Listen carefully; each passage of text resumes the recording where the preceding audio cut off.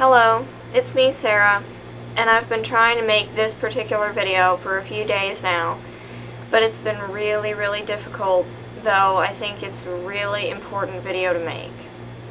And this is the kind of video that nobody really wants to have to make, but like I said, I feel it's important. I got up early morning March 3rd and got on YouTube to check a few things and found that my very good friend Alex Burke also known as Lord Sardonic on YouTube, passed away March 2nd. Now, Alex had been ill all of his life, and the last time that I talked to him was when he popped up on MSN a little over a couple of weeks ago to tell me the news that he was going to die. His last kidney failed, and he told me that he didn't want to get dialysis and he didn't want to try and get another kidney.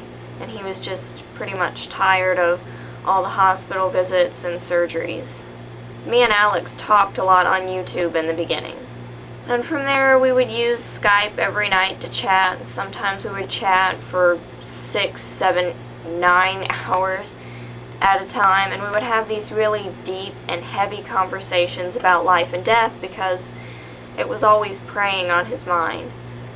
And so we got to know each other over a short span of time and I would tell him you know, very personal things about myself, and he would share very personal things about his life, and we just kind of connected, I guess, and became fast friends. One thing about Alex was, is he was very, very bright. Sometimes too bright.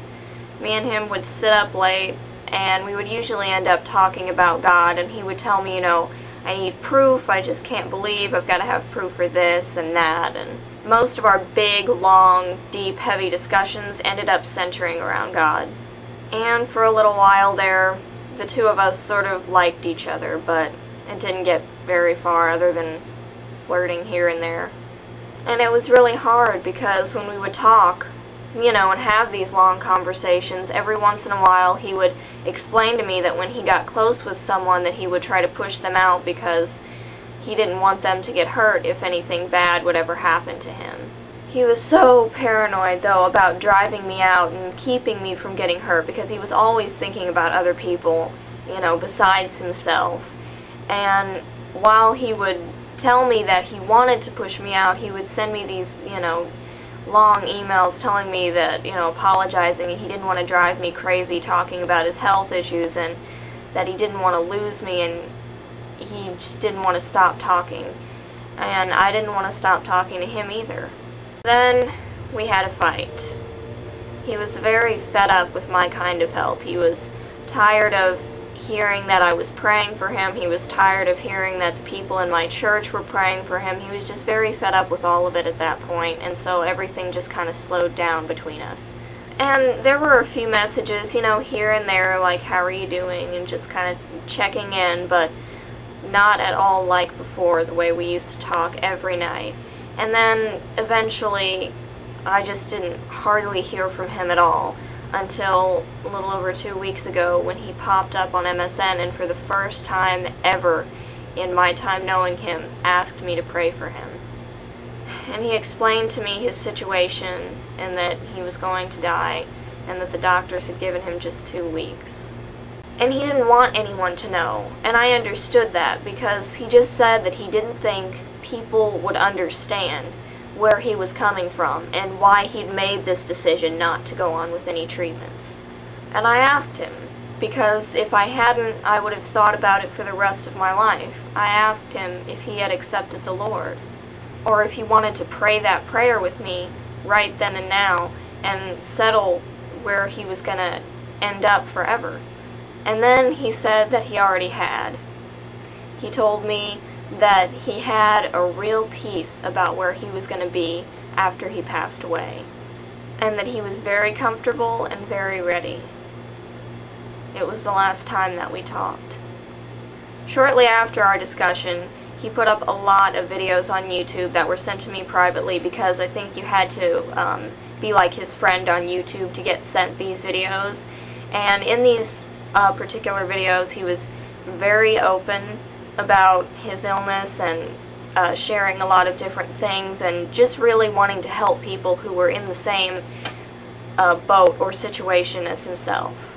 This is the very same person that told me that he did not like to let people in, that he didn't like to share things about his illness with people, that he put on this entirely different thing to kind of protect everyone around him and protect himself, that he didn't want to share his poetry because it was very personal and very private. And there he was in those videos talking about all that he had been through and just really trying to help other people who were going through really rough times. It was like a complete transformation, a complete turnaround from the person that I'd gotten to know after that uh, time period. And that's when I knew that God had finally sunk into him. So I guess what I'm trying to say to anyone out there who is witnessing to somebody and talking to somebody about God and they, they just don't believe it because they need proof or they can't understand the scripture, just keep trying. Keep praying. You know, don't bug them about it, but don't give up because you can reach anyone, no matter how hopeless, no matter how hard it seems. With God, all things are possible, so don't give up. If I could say something to Alex's parents, who must be going through a really rough time right now, it would be this. You raised an amazing son. He was bright, funny, talented, and had a great heart. He touched so many lives, including mine, and probably for the first time in his life, he's not hurting anymore, and he's alright, and he's in heaven. And right now, he's probably looking down at all of us sad people and just shaking his head. But Alex is the kind of person that you just don't ever forget, and I won't ever forget him. Now, if I may, I'd like to share four poems that Alex wrote for me and sent to me through YouTube messaging. Watching her soar from below in the sewers that are his home, wondering why the graceful angel keeps looking down into his dwelling, wondering why she keeps smiling down like she wants to save his broken soul. He looks up to watch the angel, tears in his cold, deep blue eyes, knowing too well what she's thinking, to help him through this hell that traps him in this cold sewer. Why does he live there, away from all the colors of the world? He looks up one more time. This time, his eyes catch the angel's, just in time to see the twinkle in her eyes. He cries a little more as he steps back to the shadows in which he came leaving behind a torn piece of paper with the cold forgotten words, That which was banished, he can never be saved. And this is the second poem.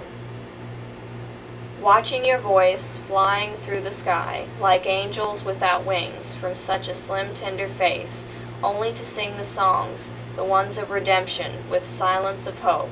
But this angel has no wings. She cannot fly, just like a normal man, Yet she soars about the rest, watching from the other side, just to ask her God to save this fallen soul. Fear grips his broken soul. Why would an angel so sweet try so hard to mend the tears of that so cold and old? Why save his cold lost soul? Does this angel really know how hard it is for this boy to even see his world's worth? Does she want to see his soul at those golden gates when she comes to rest her head? Why this little boy's soul when others lay closer to her door? And now the third one. Wonder if she even knows the life that her smile saved. With one small movement of her lips, the voice would bring back hope. He had fallen years ago, yet one soul could save his. But that soft, tender smile picked a man off the ground who had lost all hope of being saved. Wonder what lies behind that golden heart. I love you, Alex. And until next time, goodbye.